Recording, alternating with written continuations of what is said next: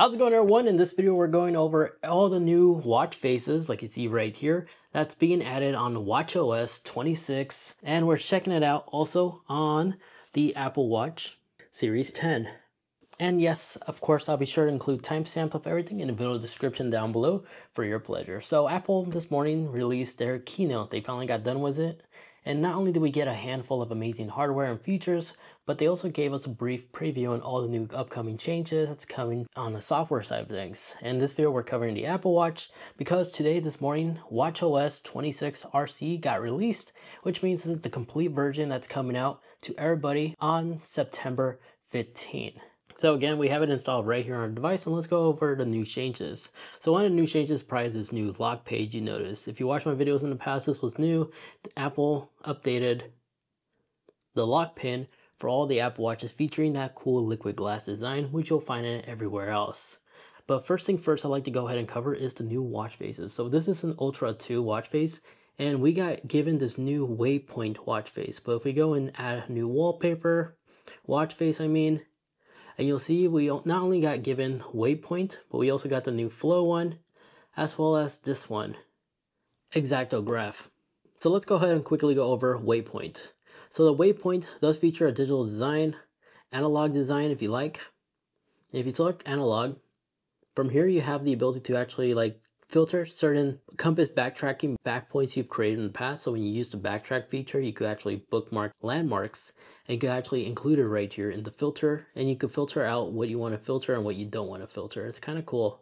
I'll go in greater detail in future video. Since this just came out, I just recently have been experimenting with it. I haven't found anything interesting yet that I have to share about this. But in the next page, you have the ability to adjust the digital style if you want on the right side or on the left side. Great if you're right or left-handed, or you can remove it all entirely. But if we switch to the side, yes, it does feature night mode because if we go into on, this is how it looks like in night mode, but you do have the ability to go on off or leave it on auto and you have a variety of different color choices to choose from. All the color choices we are familiar with the past, we can actually switch to this. But apparently green is their native look. And of course we got complications, you can add, add up to four. And then by exiting out there, this is how it looks like. Gives you compass information as well as your previous landmarks you have created in the past from hikes and such. And you got a compass, compass down here as well. But then if we switch to the other watch faces, click on it right here. You have flow, as well as this bottom one, which I currently have on my Series 10. I've been testing it out. This is the larger size Series 10 watch face, and this is one of the new ones which does this cool, crazy animation, which I gotta say, it's definitely unique. I wasn't expecting Apple to actually do something like that. But in terms of always on display features, if I cover this up, this is how it looks like. It does feature the second hand right here. Then if we go ahead and switch to the flow watch face, this is my favorite watch face. Hopefully the camera can pick this up. Hopefully it's not too bright. But think of this kind of like a uh, lava lamp as it does have like it does move based off the rotation of your wrists, which is kind of cool. And if we go ahead and long hold and go into color, let's change it to a color that's better on camera. I think this is a good one, this darker one. Here you have a better here you can see better on how the liquid actually moves in here. And always on display does still feature the liquid, but it's just not as responsive. But if we long hold and go in custom, and we go into background, you have the ability to remove the background if you don't like that liquid just moving in the back. But for typeface, you have this one, which was featured in Apple's keynote. And then you go back to the standard like number dial layout if it's easier to read, which I have to admit, I think it is easier to read this way. This one, the original one, it's kind of hard to tell what time that is. But unfortunately, Apple did remove a couple watch faces on WatchOS 26, where last year on WatchOS 11, the Explorer watch face is gone. Well, now newly removed is the Toy Story watch face, Vapor, Liquid Metal, Water and Fire, and Granite has been removed as well. But going back to the Apple Watch Ultra, a new feature that was actually added and tweaked can be located in the Sleep app. Has a new updated icon. It's now purple instead of previously it was blue. But when you click on it, here you can actually take a look at your sleep score. This is the new graph and this is how it looks like. I don't have any data because I haven't been sleeping with my Apple Watch in quite a while. But I believe after five to like a week of using this for sleep tracking, It'll then start filling up this graph. Think of this like a credit score. You can actually see where you're struggling or where you need some sleep improvements. But going down here, everything else pretty much remains the same. But pretty soon you'll have the ability to actually view your, your blood pressure on the Ultra 3 as well as the latest generation Series 11 Apple Watch. And then another new feature that Apple introduced, your Apple Watch detects you're draining its battery life a little bit quicker than it should. A notification will pop up letting you know to enable low power mode to make sure your Apple Watch can make it throughout the entire day. So that's a new little warning right there that'll pop up. Additionally, along with this new update, we also receive updates icons for some existing apps. The stock app also received a minor update as well, as this is how the new stock app icon looks like.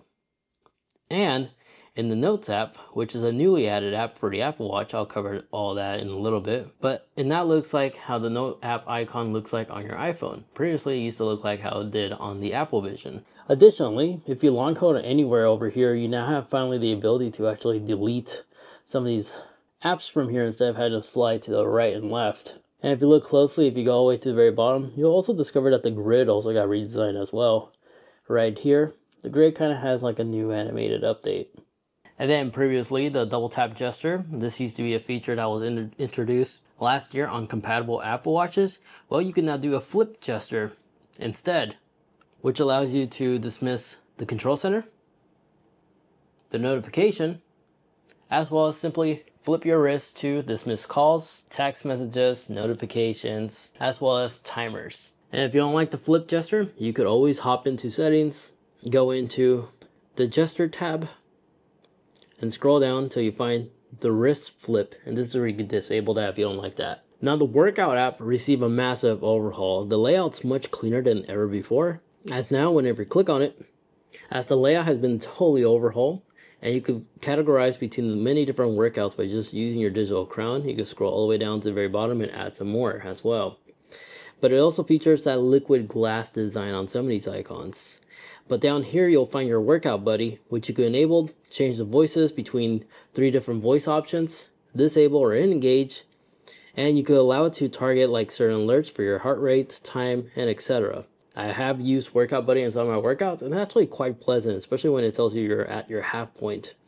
But now this little music note icon, by clicking on here, you could allow your Apple Watch to automatically play music based off the selection you have here. So if you have Apple Music, you could choose the media manually. You can select between your playlist or songs or track or albums, or you can allow the Apple Watch using Apple Music Intelligence to select the right songs you like to listen to while you workout. So it basically uses machine learning to actually identify the type of music you enjoy and will automatically play once you start a workout. And then above here you have your workout settings for your goals, as well as your workout views if you like to customize which page you like to see instead whenever you start a workout. Then if you ever start one of these workouts, you'll soon discover there's audio waves on the side over here. When you see it waving like this, it means that the voice narrative for your workout buddy is actually talking to you. And when it's grayed out, it means it's not saying anything.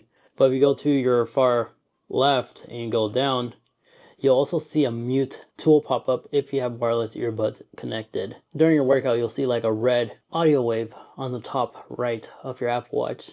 Now the Smart Hint now it's compatible on every single watch face, even the most complicated ones. And the most easy one to activate if you just want to preview it is when you take out your phone and just simply launch the camera app. And then while using your iPhone's camera, a little smart hint will pop up. If you click on it, it will quickly take you to your smart stacks and will allow you to have quicker access to launch that third-party app you're connecting to, like our camera app. It's even smart enough to detect when you lose reception in case you're out for a hike. You'll see like a backtrack smart hint icon allowing you to quickly enable the backtrack. Now, if you don't like it to automatically enabled, we also have a new setting to disengage that in the settings and scroll down in smart stacks, widget suggestions, scroll down, and here's where you can manually disable it if you don't like it at all. Now, if you ever get out of the watch face and we switch to like a the white layout watch face, Every button you press will have a little divot animation now, including the digital crown, and if you have an Apple Watch with the action button, the action button also has a new animation as well. It's similar to like how it is on the iPhone whenever you press one of these volume icons or the silent action button switch or even the power button. It does that little animation. It's now located on the Apple Watch itself. Now the liquid glass is found everywhere. It's in control center as well as your notification tab. But in control center, there's a massive overhaul here as the layout's a lot cleaner than ever before. But now if you click the low power mode or the battery percentage icon, if you scroll down, you can monitor the rest of your, your Apple accessories battery life levels right here. Like I have my AirPod case as well as the AirPods. But in addition to that, You'll also find the Control Center now supports third parties shortcuts as well. By tapping the edit button and you tap the plus up here, you could do smart home appliances like smart kit, compatible accessories and such, camera control, accessibility, and if you keep going down, you'll even find support for like third party apps like my Porsche, I could control my vehicle from here. My F-150 could also be controlled with Ford Pass, as well as Tesla controls. Even my solar system can be controlled off these like shortcuts right here. So here on top, I have the ability to quickly turn on my vehicle's AC to cool down. I can just toggle it right here and disengage it like so. And then if you like to reverse back to uh, the original layout in case you gave yourself so much, by going into settings and go into the control center, here's a new setting where you can actually reset the control center layout if you like to reverse back to default. Now real quick, if you could take two seconds to kindly hit that like button on like, those truly help out the channel as you are personally supporting the channel this way. This way we don't have to have brands for sponsorship segments or so, taking like a minute or two off your time. So big thank you to those that continue hitting the like button like, really does mean a lot. Let's carry on. Now the new Notes app, this is the app that was recently added to the Apple Watch. And if you ever used the Apple Note app, it's very much very self-explanatory. It automatically will synchronize with your iPhone whenever you create a note on your iPhone or the App Watch. And your ability to write notes, you can use dictation, scribbles, or even the keyboard if you like to reverse back to that. So a lot of options right here to quickly create notes or read cheat sheets or notes on your wrist without bringing out your phone. And speaking of phone, if you take off your device off silent mode, there's now a new adaptive environment sound notification, which your Apple Watch will automatically adjust in case you're outdoors or indoors. If you're inside a library, if the Apple Watch notices that your environment is pretty quiet, your notification will not be loud. And then in an outside setting, in a loud environment, your notification will be extremely loud. You could adjust this auto aggressiveness with three different settings. You can find it in the settings app. In here, go into sound and haptics and then where it says automatically adjust audio, enable this. And then in here, you can select between these three different levels on how aggressive you like it to be. And I've used it quite a bit, and to my surprise, it works extremely well. Another app that received an update is the Message app. The new Apple Watch Message app now features the ability to add background wallpapers. So now you can see your created wallpapers in here, as well as you also have the ability to respond to polls if somebody created one. And then when receiving a phone call, if you're left on hold, you could always put your iPhone on hold assist and your Apple Watch will notify you when the hold is done. In addition to that, this will also support live transcripts as well. But other than that, there you guys have it. Now you are up to date on all the new changes, new features that's coming your way as soon as this new version of WatchOS 26 is officially released for everybody else in the next week. Again, September 15 seems to be the release date when Apple's going to roll this out to everybody else. So if your device supports it, this is the new software updates and new features that's coming out your way. Thank you so much for watching. Now real quick, if you like to watch more, maybe you like to catch up on see what's new on the Apple CarPlay side of things, I go in greater detail in this video over there because there actually is well over 25 new changes and new features that Apple secretly added on the CarPlay side of things for iOS 26 RC. Highly recommend checking out that video over there so you are informed what's coming out and you know exactly how to utilize it. Thank you so much for watching.